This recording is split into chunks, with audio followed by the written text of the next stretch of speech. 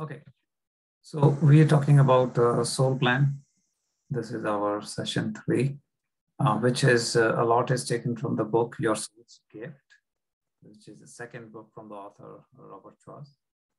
And uh, here we have seen that what is the goal towards the true healing? It is not something that you know we want one time, one particular day. No, what we want is the healing or uh, the feeling of fulfillment, true love, oneness, abundance, all those, you know, elevated emotions for a longer time, for life, not just once.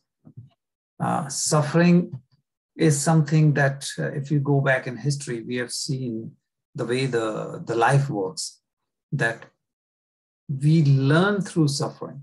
So it is not specific to region, a place, religion, belief, whatever. It is the way human emotions and the whole thing works. Now, can we learn without suffering? Yes. Is it easy? No.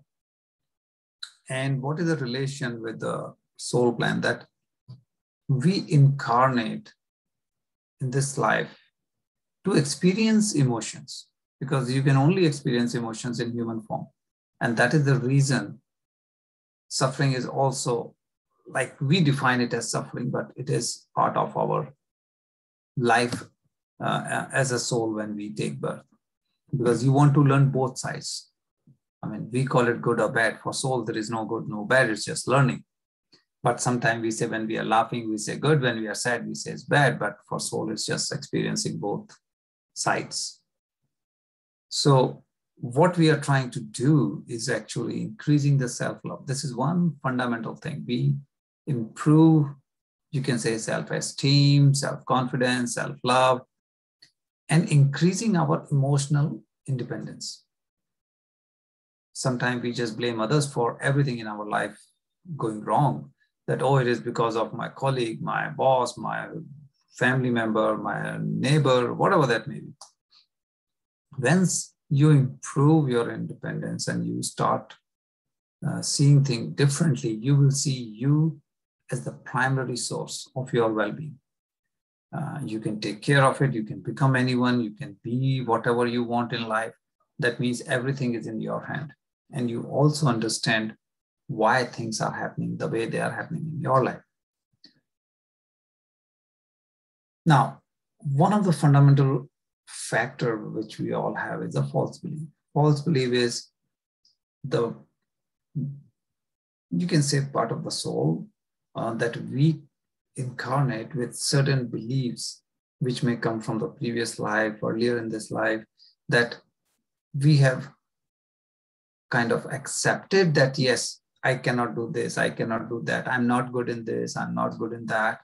Uh, it could be a question of some guilt, shame, pain, trauma, tragedy, whatever that may be, there is, you can say, our notions, our uh, beliefs, which low level energy, we get stuck in that, and the whole life you are going into that. Uh, you know, sometimes we are with anger, we are with the feeling of lack. Uh, this person did this to us, and 20 years we can stay in that feeling that means we are hating that person and we are holding that emotion inside us. When you hold the emotion inside you, doesn't matter what it is, it will hurt you later on because you think it is the other person, but because emotion is in your body, it will hurt you. Based on the emotion, different organs in our body gets impacted uh, whether it is lung, it is heart, it is intestine, pancreas, you know, every kidney, they have different function and different emotion gets stuck in different organ based on the, the energy level of that emotion. Heart is one very, you can say, big factor in our well-being and in this whole world of balancing energy, spirituality, whichever way we take it. Why? Because heart is uh, reflective or uh, attached to emotion. Brain is logical. 2 plus 2 equals 4. Brain answer will be clear. Heart may say 2 plus 2 equals 6. No logic, feeling, emotion, true love. And once your heart and brain connects, it becomes super highway and then the energy flow, energy balance between left side, right side of the body, and all those things improves. Now, the concept of Akashic record is that there is a record of every soul. You and me may not be able to access it, but there are people.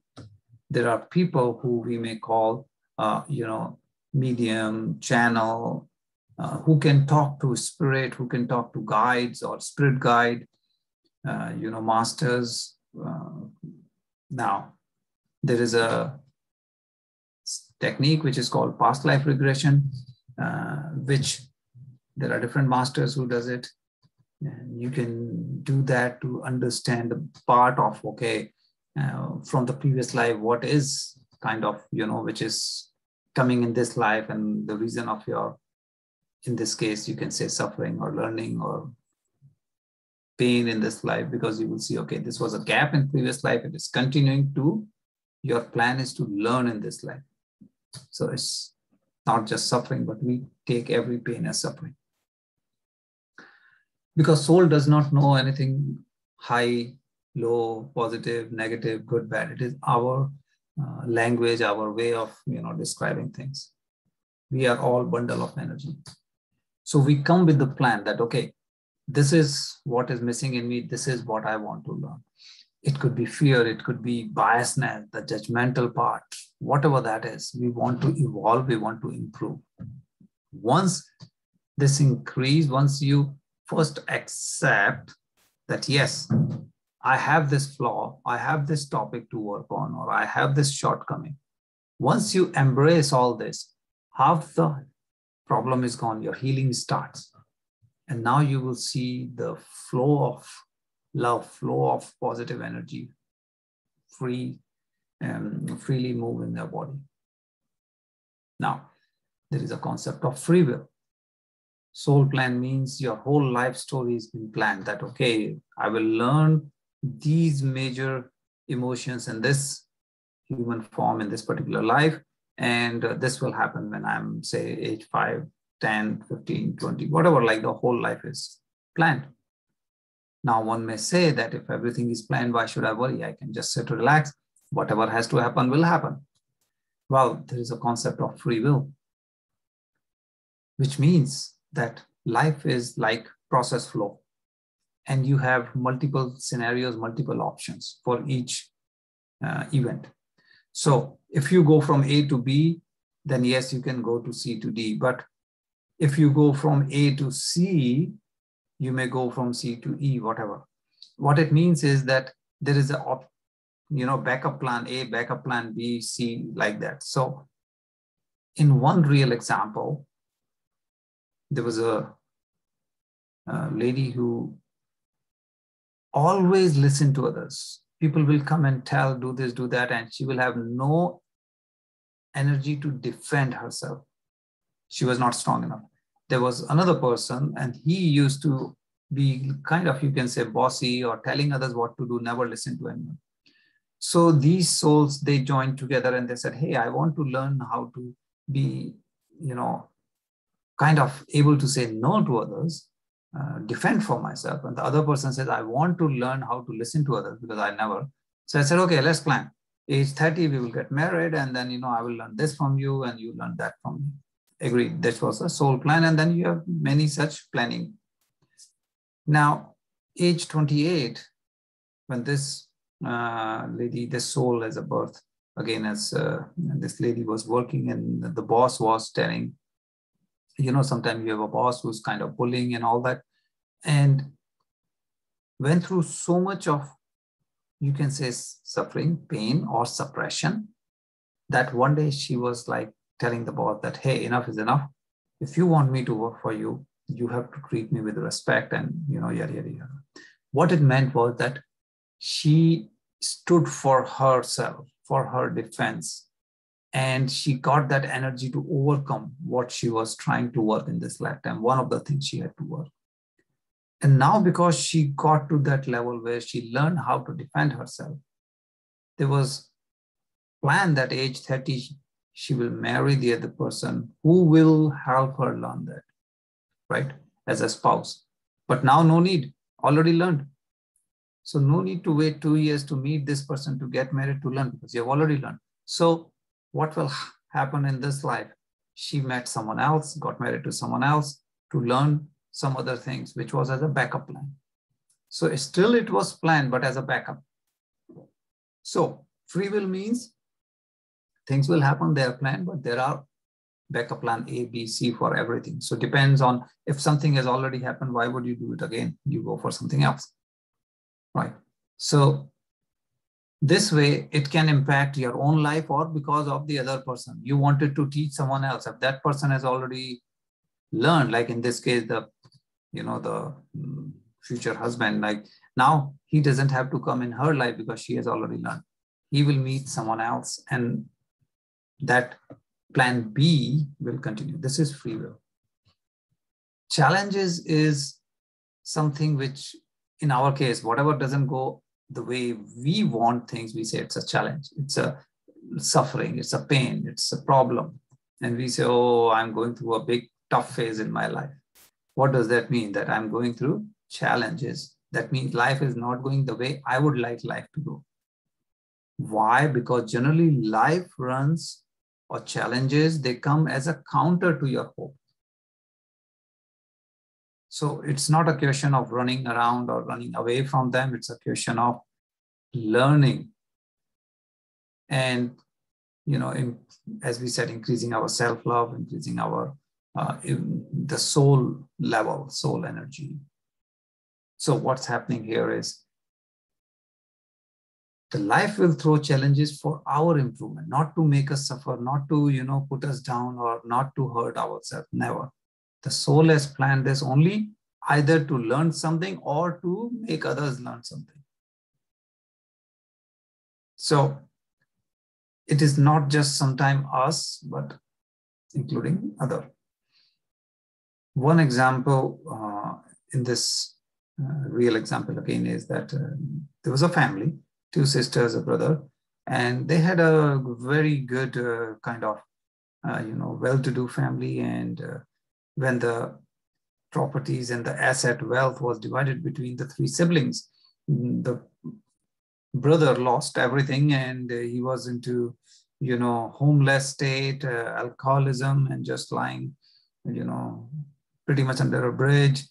And the girls both sisters felt very bad for the brother that what he has done to you know his life and feeling sad about him that you know he's not good blah blah blah when they went through their session and they realized that the brother is actually helping these two sisters learn compassion which is one of the fundamental uh, you can say uh, emotions that uh, the universe believe in oneness, uh, you know, compassion, caring for each other, and all that. And they lacked.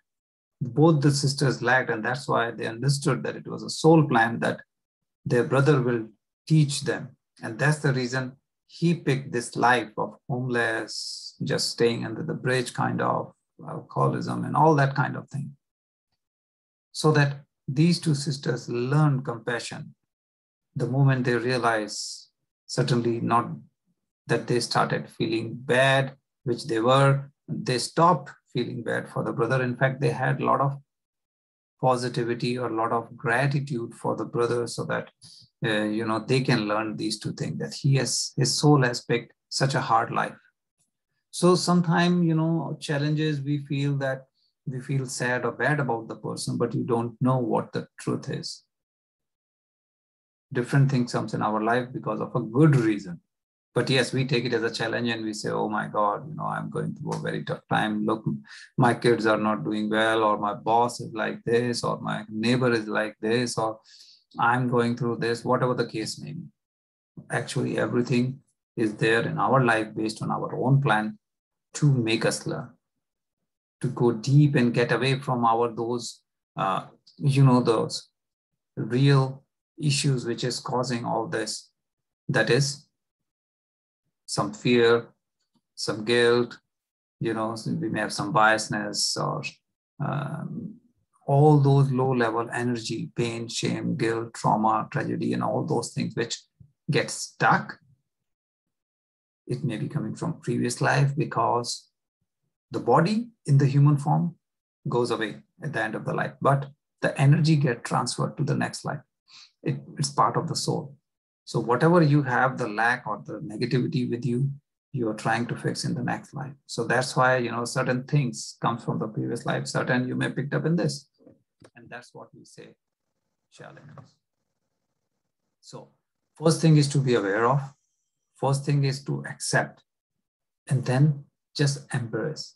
When you embrace your shortcomings, challenges, you know, the healing start right away. That is the first thing you have to do. Why? that is the first thing that everybody runs away from. To accept something is wrong with you is very difficult because we feel, uh, you know, others have problem, not me. And here you have to accept that yes, there is some shortcoming or some uh, areas of weakness that you need to work on. Nothing wrong in it that everyone has, but we don't accept. So that is where this challenge comes from. And what happens is we feel sometime, you know, sad or bad, but thank, you should be full of gratitude to your soul that soul planned all this because we learn through challenges, unfortunately, through suffering. That's why the soul plan, and it will have both some suffering, some good, some happy moments, some, you know, uh, positive things. And the heart energy is awakened after going through some personal crisis. You will see this feeling of gratitude, helping others. A lot of things comes, changes. It's just a question of how to reach that state. That's why the sufferings is there, just to shake us up, just to bring us in alignment with our soul plan. Now comes the karma. And this is uh, kind of another topic which is mysterious, sometimes very difficult to understand. So here we will talk about two main things which will clarify and we'll go over and over. One is balancing the karma, one is releasing the karma. Now, what does balancing mean? Balancing means every coin has two sides. Balancing means in this particular life, I am receiving care. So I will say, I learned how to receive care. So in next life, I may learn how to give care. Now there is a, again, real example of uh, a mother and the boy, and uh, the boy had some medical condition. So obviously mother was taking care of the child. Uh, you know, you feel bad why my son is going through this much pain and suffering. What they came to know is in the previous life, the role was reversed. The child was mother, mother was child. And similar situation, the child had a uh, health issue and the mother had to take care of him for whole life, giving care. So as a soul plan, when the soul decide that, okay, in this life I receive care, I understood, but I've never given care. So not necessarily you will switch roles. You can plan with some other soul. So it's a group of soul, a family of souls you know, and some will incarnate now, some will stay there and they keep rotating. I mean, that's how this concept works. So that was the reason these two souls decided that, okay, I will play the role here, or you will be my son. And yes, there's this medical condition, and I will be giving you care. Now, to learn how to receive care, you have to have such situation. Otherwise, why would you receive care? But because you have a situation, you're receiving care, you may feel in this life and we don't know anything that, oh, my son is going through suffering, such medical condition. It could be physical, emotional, mental, whatever. But that's how this balancing act works. Now, what is releasing karma? For example, there was a case that, okay, um, the person was kind of um, in the previous life, he had worked uh, and the Nazis propaganda uh, team. So communication wise, they were twisting the facts to promote things in favor of the regime, the Nazi regime. So in this life, the person was born uh, as a uh, in a like a family, but uh, he was autism. Why? Because of communication issue. Because in this life, the person wanted or soul wanted actually to learn the value of you know truthful communication. So in this life challenge because autism you have challenge of communication. That's why the soul picked that kind of issue of medical condition so that one can learn. Now this is more or less balancing in one life you did not take care of value of communication. In this life you are trying to learn that.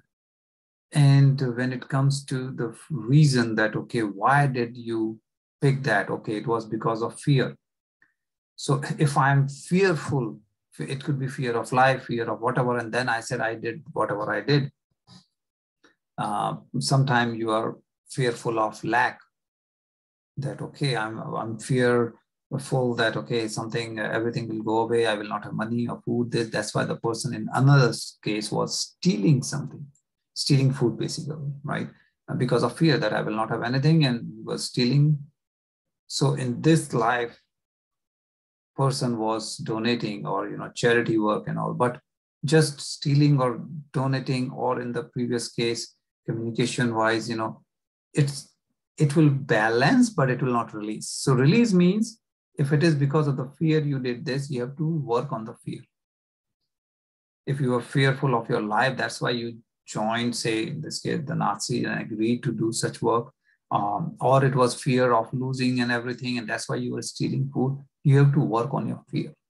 Once you overcome the fear, now you are releasing the karma. It will stop the cycle. Otherwise, you know, you keep balancing in different lives. So balancing is necessary. That is one element, but releasing the underlying factor, the emotion because of which it is happening, whether it is guilt, shame, pain, fear, all those low level energy emotions, which is causing those, you have to work on that. Otherwise, you will keep creating new karmas. So these are two important things. Like I said, because of fear, the person joined the wrong organization in the sense, you know, helping Nazi do this. Uh, or uh, other example, because of fear, the person was stealing. So not only you have to balance, but you have to get rid of that fear. Now, how do we know we have fear and all those things we will see as we go. but one thing is uh, very clear that you need to do both when it comes to karmas. Otherwise, it's a loop process. So I hope this is clear. Balancing is like two sides of the same coins. If you are giving in one case, you will receive the other. It could be a care, it could be giving and receiving wealth, like in one case, the person was stealing something, in another case, he was donating or volunteering, you know, that kind of thing. So you are balancing. Releasing means you have to work on. In this example, we talked about fear, so you have to work on fear. Now the question comes, you want to heal. The whole plan of the soul is to, you know, keep this journey and improve and heal. Heal what? So whatever energy is left unresolved from our prior lifetime, we are trying to work on that.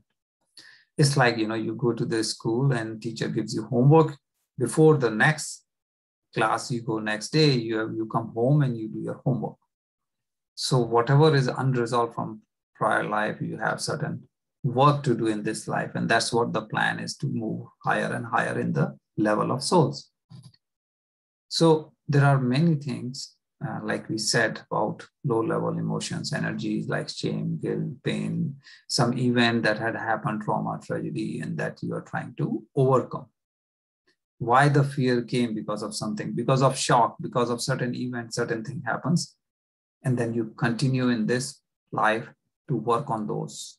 Yes you may create some other issues which you will resolve in the next life but in a way you are going step by step again taking the example of a school you go to say example grade 6 you learn something again grade 7 you will say oh again i am learning yes but a higher level topic then grade 8, you will say, again, I'm back in the school. Yes, you still have some more to learn.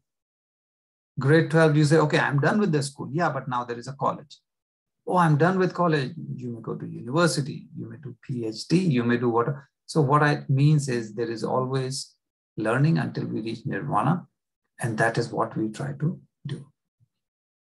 Now, another example was that healing uh, for us, as we were talking about, you have to accept first that there is something that I need to fix. If you don't accept this, don't acknowledge that, then there is nothing to be worked on. Then your healing will not take place.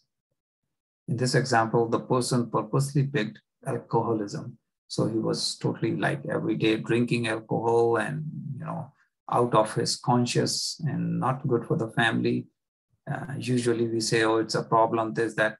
The reason that person picked was the soul picked that in this life I will going through this, creating emotional pain. And that emotional pain in himself brought him to his knees, basically, and then surrendering, whether you call God, Almighty, universe, higher self, doesn't matter which way you look at it, but basically surrendering to higher self and saying, universe, okay, you know, I surrender.